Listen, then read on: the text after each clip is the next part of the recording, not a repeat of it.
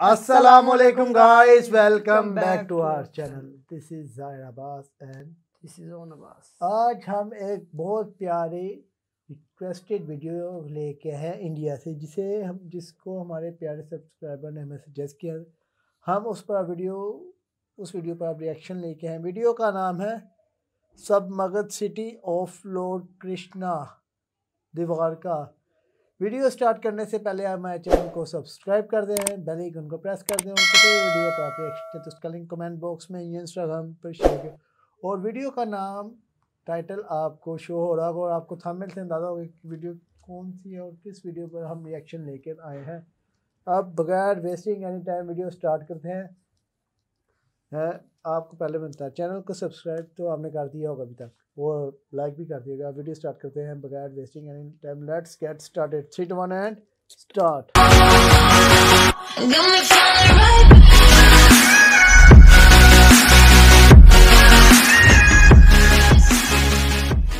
दर्शकों द्वारका एक ऐसी प्राचीन धार्मिक नगरी है जिसे कभी भगवान श्री कृष्ण ने बसाया था।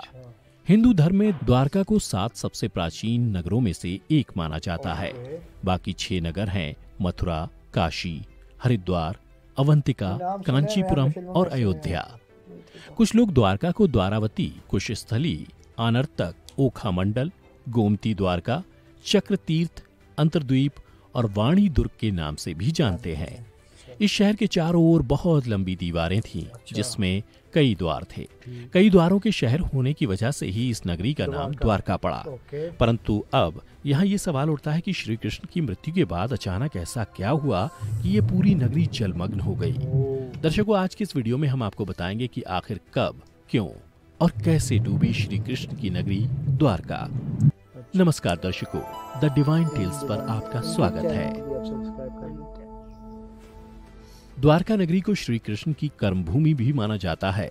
महाभारत में वर्णित कथा के अनुसार श्री कृष्ण ने जब कंस का वध किया तब जरासंध ने कृष्ण और यदवंशियों का नामो निशान मिटाने की ठान ली और मौका मिलते ही जरासंध मथुरा और यादवों पर बार बार आक्रमण करता रहा। धीरे धीरे उसके अत्याचार बढ़ने लगे तो अंत में यादवों की सुरक्षा के लिए श्री कृष्ण ने मथुरा को छोड़ने का निर्णय लिया। और मथुरा से निकलने के बाद भगवान श्री कृष्ण ने एक ऐसे नगर की स्थापना की जो विशाल और सुसंगत था। इस नगर का नाम था द्वारका। नगरी। कहते हैं कि श्री कृष्ण अपने कुल बंधुओं के साथ द्वारका में बड़े आराम से रहने लगे। समय बीतता गया 36 साल तक राज करने के बाद और श्री कृष्ण की मृत्यु के बाद द्वारका नगरी समुद्र में समा गई।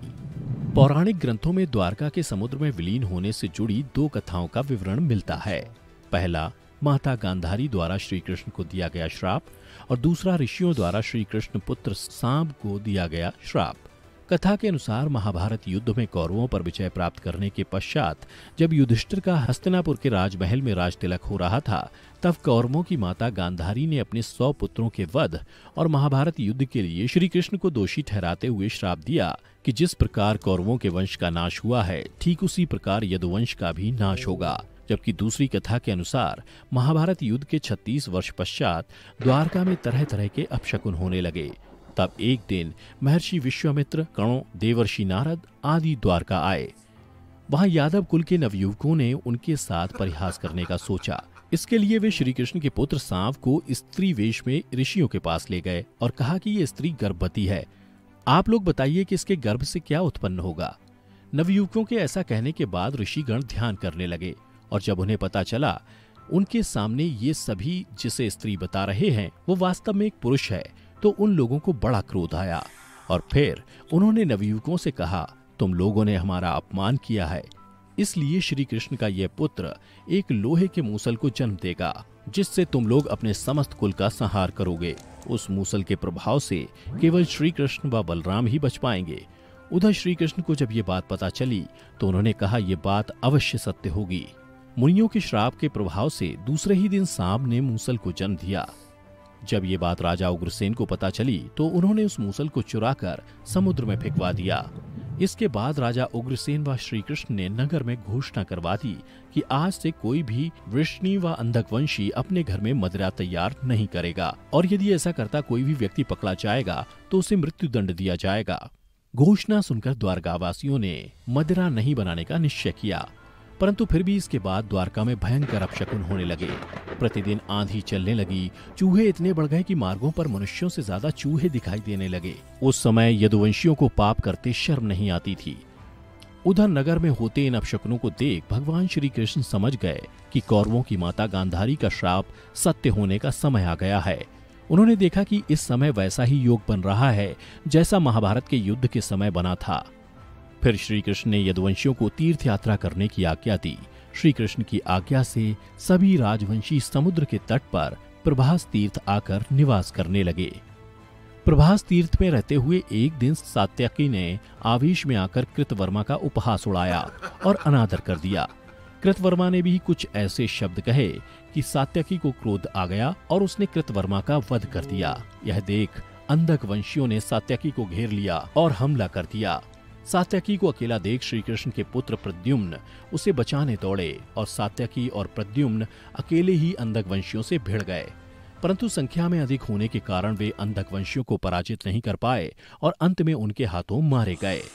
अपने पुत्र और सातकी की मृत्यु से क्रोधित होकर श्री कृष्ण ने एक मुट्ठी, एर का घास उखाड़ ली। हाथ में आते ही वह घास वज्र के समान भयंकर लोहे की मूसल बन गई। जो कोई भी वह घास उखाड़ता, वह भयंकर मूसल में बदल जाती। उन मूसलों के एक ही प्रहार से प्राण निकल जाते थे। उस समय काल के प्रभाव से सभी वीर मूसलों से एक दूसरे का वध करने लगे। यदुवंशी भी आपस में लड़ते हुए मरने लगे। श्री कृष्ण के देखते ही देखते सांब चारुदेशन अनिरुद्ध और गध की मृत्यु हो गई। अंत में श्री कृष्ण ने अपने सारथी दारुक से कहा कि तुम हस्तिनापुर जाओ और अर्जुन को पूरी घटना बताकर द्वारका ले आओ। दारुक ने ऐसा ही किया। इसके बाद श्री कृष्ण बलराम को उसी स्थान पर रहने का कहकर द्वारका लौट आए। फिर श्री कृष्ण ने पूरी घटना अपने पिता वासुदेव जी को बता दी। यदवंशियों के संहार की बात जानकर उन्हें भी बहुत दुख हुआ। श्री कृष्ण ने वासुदेव जी से कहा कि आप अर्जुन के आने तक स्त्रियों की रक्षा करें। इस समय बलराम जी वन में मेरी प्रतीक्षा कर रहे हैं। मैं उनसे मिलने जा रहा हूँ। ये कहकर श्री कृष्ण बलराम से मिलने चल पड़े। वन में जाकर श्री कृष्ण ने देखा कि बलराम जी समाधि में लीन है। देखते ही देखते बलराम शेष नाग रूप में परिवर्तित हो गए और भगवान श्री कृष्ण से आज्ञा लेकर बैकुंठ धाम वापस लौट गए। उधर बलराम जी द्वारा देह त्यागने के बाद श्री कृष्ण वन में घूमने लगे। घूमते घूमते वे एक स्थान पर बैठ गए और गांधारी द्वारा दिए गए श्राप के बारे में विचार करने लगे। देह त्यागने की इच्छा से श्री कृष्ण ने अपनी इंद्रियों का संयमित किया और महायोग की अवस्था में पृथ्वी पर लेट गए। जिस समय भगवान श्री कृष्ण समाधि में लीन थे, उसी समय जरा नाम का एक शिकारी हिरणों का शिकार करने के उद्देश्य से वहाँ आ गया। उसने हिरण समझकर दूर से ही श्री कृष्ण पर वाण चला दिया। वाण चलाने के बाद, जब वो अपना शिकार पकड़ने के लिए आगे बढ़ा तो योग में स्थित भगवान श्री कृष्ण को देखकर उसे अपनी भूल पर पश्चाताप हुआ। तब श्री कृष्ण ने उसे आश्वासन दिया और परम धाम चले गए। इधर दारुक हस्तिनापुर पहुंचकर यदुवंशियों के संहार की पूरी घटना पांडवों को बता दी। यह सुनकर पांडवों को बहुत शोक हुआ। अर्जुन तुरंत ही अपने मामा वसुदेव से मिलने के लिए द्वारका चल दिए। अर्जुन जब द्वारका पहुँचे तो श्री कृष्ण की रानियाँ उन्हें देखकर रोने लगी। उन्हें रोता देख अर्जुन भी रोने लगे और श्री कृष्ण को याद करने लगे।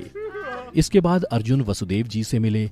वसुदेव जी ने अर्जुन को श्री कृष्ण का संदेश सुनाते हुए कहा कि द्वारका शीघ्र ही समुद्र में डूबने वाली है। अतः तुम सभी नगरवासियों को अपने साथ ले जाओ। उसके बाद अर्जुन अपने साथ श्री कृष्ण के परिजनों तथा सभी नगरवासियों को लेकर इंद्रप्रस्थ की ओर चल दिए। उन सभी के जाते ही द्वारका नगरी समुद्र में डूब गई। यह दृश्य देखकर सभी को बड़ा आश्चर्य हुआ और 2005-2007 में भारतीय पुरातत्व सर्वेक्षण के निर्देशन में भारतीय नौसेना के गोताखोरों ने समुद्र में समाये द्वारका नगरी के अवशेषों को खोज निकाला, जो इस पौराणिक कथा की प्रमाणिकता को साबित कर चुका है। इस खोजी टीम को समुद्र में 560 मीटर लंबी द्वारका की दीवार भी मिली।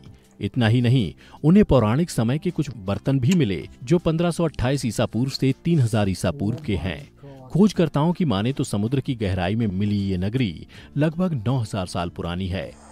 तो दर्शकों, उम्मीद करता हूँ कि आपको हमारी ये कथा पसंद आई होगी। अगर पसंद आई हो तो ज़्यादा से ज़्यादा लाइक और शेयर करें। साथ ही ऐसी ही पौराणिक कथा की जानकारी के लिए अभी हमारे यूट्यूब चैनल को सब्सक्राइब करें। इसके अलावा अगर आप हमारी ये वीडियो फेसबुक पर देख रहे हैं तो हमारे पेज को भी लाइक करें। इस वीडियो में बस इतना ही। अब दीजिए हमें इजाज़त। आपका बहुत बहुत शुक्रिया। तो आप अगर इनके चैनल किसी और वीडियो पर रिएक्शन करते हैं प्रोवाइड करें। हमें चैनल और वीडियो पर भी रिएक्शन लेके आएँगे तो वीडियो हमें सच्ची बहुत अच्छी लगी है। वीडियो मैंने पर्सनली अच्छी लगी है क्योंकि मैंने जो इस वीडियो में हमें मालूम नहीं था, हमें वो मालूम हो चुका है। तो इसी तरह की और वीडियो पर रिएक्शन चाहते हैं तो लिंक प्रोवाइड करते हैं हम उस पर ज़रूर रिएक्शन देंगे तो भाई आपको कैसे लगी जैसे आप बिल्कुल अच्छी लगी जैसे आपको ऐसे कि पता चला द्वारका नगरी ये नाम फ़िल्में फ़िल्में तो आजकल हर कोई देखते हैं ड्रामे भी देखते हैं। उनमें भी इनका ज़िक्र है ये जो नगरियों के ज़िक्र बताते हैं ये सारे नगरियों का ज़िक्र हमने सुने हैं फ़िल्मों में।